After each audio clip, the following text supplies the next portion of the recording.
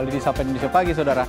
Politisi senior dari Partai Persatuan Pembangunan P3, Arsul Sani, akan dilantik hari ini sebagai Hakim Konstitusi di Istana Negara. Arsul Sani akan dilantik sebagai Hakim Konstitusi oleh Presiden Joko Widodo pada Kamis pukul sekitar pukul 10 waktu Indonesia Barat nanti. Arsul Sani akan menggantikan Hakim Konstitusi Wahidudin Adams yang memasuki usia 70 tahun pada 17 Januari 2024. Hasil rapat paripurna ke-7 DPR RI pada Oktober 2023 menyetujui hasil fit and proper test politisi dari Partai Persatuan ya, Pembangunan ini sebagai calon hakim konstitusi tahun 2024 atas usulan DPR.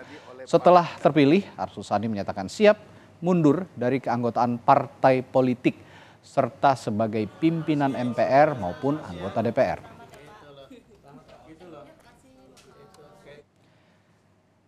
Kita akan sapa jurnalis Kompas TV Alvania Rizky yang saat ini berada di Istana Kepresidenan Jakarta yang memantau nanti jelang pelantikan Arsul Sani sebagai Hakim Konstitusi. Rencananya jam berapa Alva nanti uh, Arsul Sani akan dilantik di sana? Tadi dan juga saudara kalau dari agenda resmi yang kemudian dirilis oleh Biro Pers Istana, uh, agenda pelantikan pejabat negara ini akan dilaksanakan pada pukul 10 pagi atau lebih tepatnya 40 menit lagi nanti kami awak media biasanya akan diajak masuk ke dalam untuk menyaksikan langsung agenda pelantikan pejabat negara.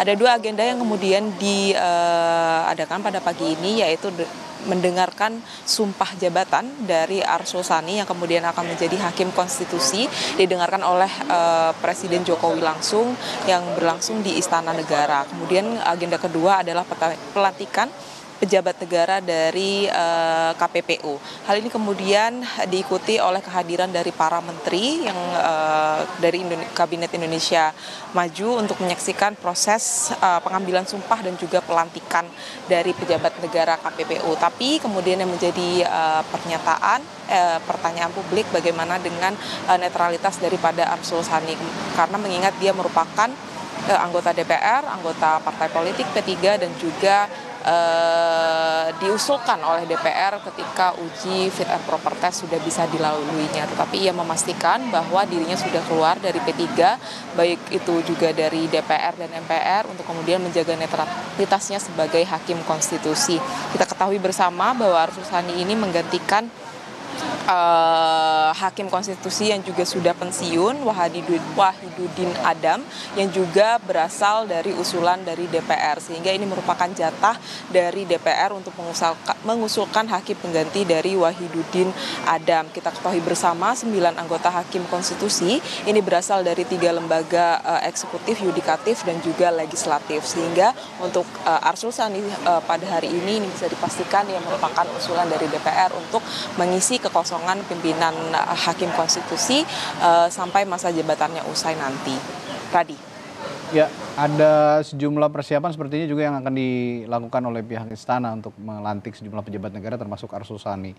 Secara khusus kalau Anda lihat di uh, Istana Negara sudah ada persiapan apa saja sejauh ini, Alfa?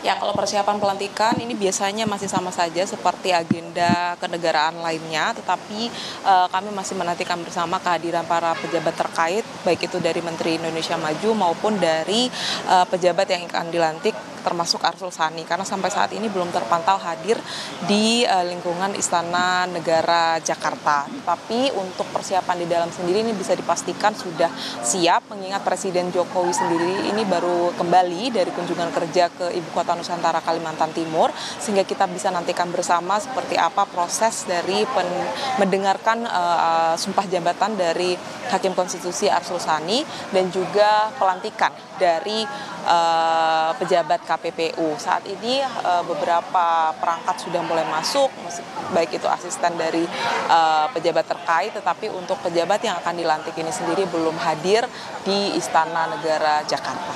Radi.